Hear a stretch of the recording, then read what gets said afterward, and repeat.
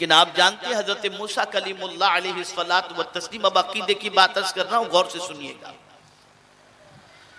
حضرت موسیٰ کلیم اللہ علیہ السلام و تسلیم تفسیر عزیزی میں ہے، کوہ تور پر تشریف لے جا رہے تھے۔ اللہ سے ہم کلام کرنے ہونے کے لیے، ہم کلامی کا شرف حاصل کرنے کے لیے۔ مل گیا شیطان۔ کہنے لگا، موسیٰ پتہ نہیں کیا ہو گیا مجھ سے، میں نے کیا کر ڈالا؟ کتنی بڑی غلطی مجھ سے ہو گئی؟ موسیٰ، ایک کام میرا کر دیجیے آپ۔ آپ جا رہے ہیں کوہ تور پر نا، تو رب سے جب ہم کلامی کا شرف حاصل ہو، تو پوچھ لیجیے گا کہ کیا میری معافی کی کوئی صورت ہے؟ حضرت موسیٰ علیہ السلام کلیم تھے اللہ کے۔ پہنچے کوہ تور پر۔ اور جب رب سے ہم کلامی کی لذت انہوں نے اٹھائی اور ہم کلامی کے شرف سے مشرف ہوئے، اس میں گم ہو گئے۔ پھر کافی دیر کے بعد خیال آیا کہ شیطان نے ایک گزارش کی تھی، ذرا رب کی بارگاہ میں پیش کر دوں۔ تو مولا کی بارگاہ میں عرض کیا، مولا، شیطان جو ہے وہ معافی مانگنا چاہتا ہے۔ تو کیا اس کی معافی کی کوئی صورت ہے؟ رب نے فرمایا ہاں۔ ہے صورت؟ غور سے سنیے گا۔ ہے صورت ہے اس کی معافی کی۔ آدم کو اس نے سجدہ نہیں کیا تھا نا؟ اب اس سے کہو، آدم کی مزار کا سجدہ کر لے۔ اس کی معافی کی صورت یہی ہے۔ توجہ چاہوں گا۔ تفسیر عزیزی کا حوالہ دے رہا ہوں۔ کس کو سجدہ کرنے کے لیے کہا گیا؟ اب پھر وہ اکڑا۔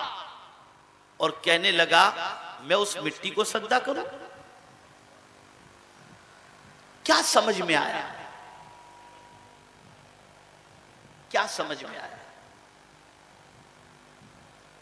شیطان بھی چاہتا ہے مجبور ہو کر کہ اس کی بخشش ہو جائے، لیکن بڑی پیاری بات ارز کر رہا ہوں۔ شیطان کی توبہ کی قبولیت کے لیے اللہ رب العزت نے آدم علیہ السلام کے مزار پر جانے کا حکم دیا۔ پتا چلا گناہ جیسا ہوگا، رجوع بھی ایسا ہونا چاہیے۔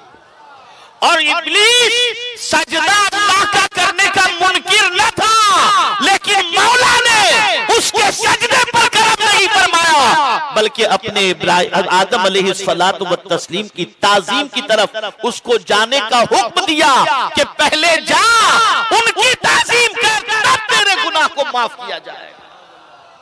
یہاں سے یہ بات سمجھ میں آئی جو صرف مسجد میں سجدوں کی رٹ لگاتے ہیں انہیں اپنا عقیدہ درست کر لینا چاہیے کہ اللہ اپنا حق تو چاہے تو معاف فرما دے لیکن اپنے بندوں کا حق معاف نہیں فرما اور بندوں میں سب سے زیادہ حق حضور کا ہے۔ اگر حضور کی کوئی حق تلفی کرے، تو مولا اسے معاف نہیں فرمائے گا۔ اور حضور کا حق کیا ہے؟ تو قرآن کہتا ہے، فَالَّذِينَ آمَنُوا بِهِ وَعَزَّرُوا ان کی تعظیم کرو۔ ان کا احترام کرو۔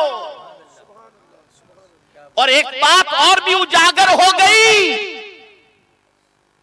کہ پہلا گناہ ابلیس سے جو ہوا وہ حق العبد کی ادائیگی میں اس میں اس نے کوتاہی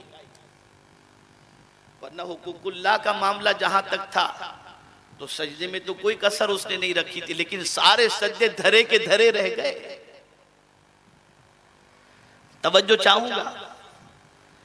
سارے سجدے اس کے وہی کے وہی رہ گئے۔ ایک مرتبہ حضرت آدم علیہ السلام کی بارگاہ میں رب نے جھکنے کا حکم دیا۔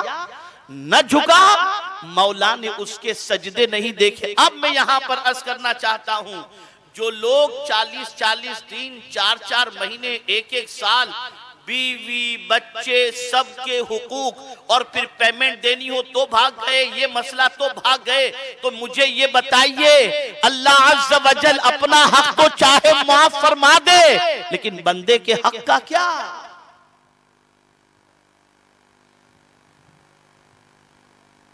جاؤ، کئی کئی کئی دن تک چلے جاؤ، اللہ معاف کرنے والا ہے۔ جی نہیں۔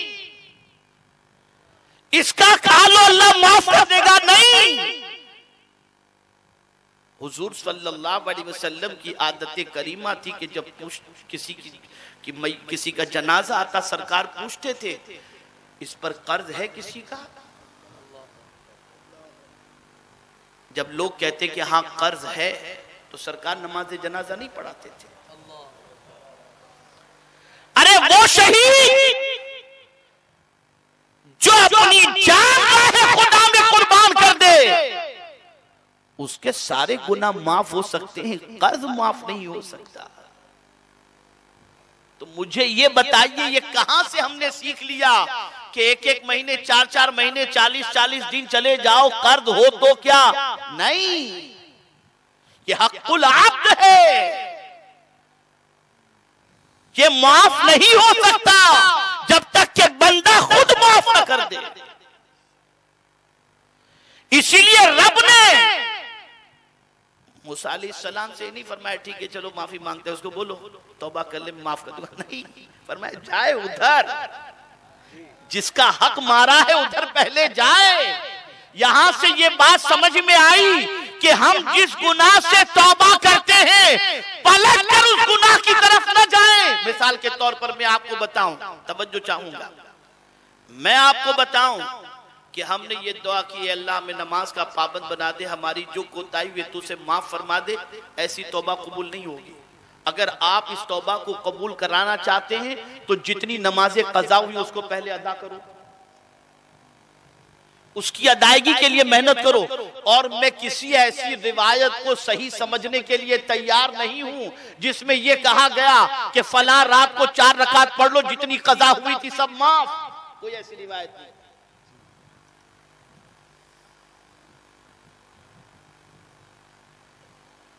سچی توبہ یہ ہے کہ آپ اس کو جس چیز سے آپ توبہ کر رہے ہو، اسی لیے مولا علی کرم اللہ تعالی وجہ الکریم نے چھ چیزیں بتائی ہیں توبہ کے سلسلے سے چھ چیزیں بتائی ہیں۔ ان میں سے سچی توبہ کی علامت میں ایک علامت یہ بتائی کہ جس کا حق تم نے مارا ہے، اس کا حق ادا کرو۔ یہ نہیں کہ حق مار لیا، مولا اب تو بس میں توبہ کر لیتا ہوں۔ نہیں، دو اسے جیسے ابلیس نے حضرت آدم کا حق مارا تھا تو مولا نے وہی بھیجا۔ جا پہلے وہاں پر جا کر کے صدہ کر۔ وہ صد تعظیمی تھا صد عبودیت نہیں تھا۔ تو میرے پیارے آقا صلی اللہ تعالی علیہ وسلم کے پیارے دیوانوں، یہ بات یاد رکھیں۔ کہ حضور صلی اللہ تعالی علیہ وسلم کے بھی حقوق اللہ نے ہم پر رکھے ہیں اور وہ حقوق ایسے ہیں جو ماں باپ سے بھی بڑھ کر کے ساری کائنات سے بڑھ کر کے اب اگر کوئی معاذ اللہ یہ کہے کہ حضور ہماری طرح تو حق مار دیا آپ نے۔ آپ نے حضور صلی اللہ علیہ وسلم کی عظمت کو نہیں سمجھا۔ آقا کریم صلی اللہ علیہ وسلم کے مقام کو مرتبے کو آپ نے نہیں سمجھا۔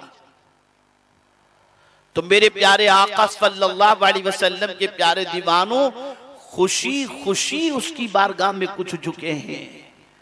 اور کچھ مجبور ہو کر کے اس کی بارگاہ میں جھکے ہیں۔ اب دیکھیں شیطان اپنی فطرت نہیں چھوڑتا نا۔ تو حضرت موسیٰ علیہ السلام سے کہتا ہے، موسیٰ، آپ کو تور پر گئے۔ آپ نے تو رب سے کہا تھا، رب ارینی تو میرے مولا نے، اللہ عز و جل نے آپ سے فرمایا، انظر الجبل، پہاڑ کی طرف دیکھو۔ تو آپ کو کہہ دینا چاہیے تھا نا؟ میں پہاڑ دیکھنے تھوڑی آیا ہوں، میں تو تجھے دیکھنے آیا ہوں۔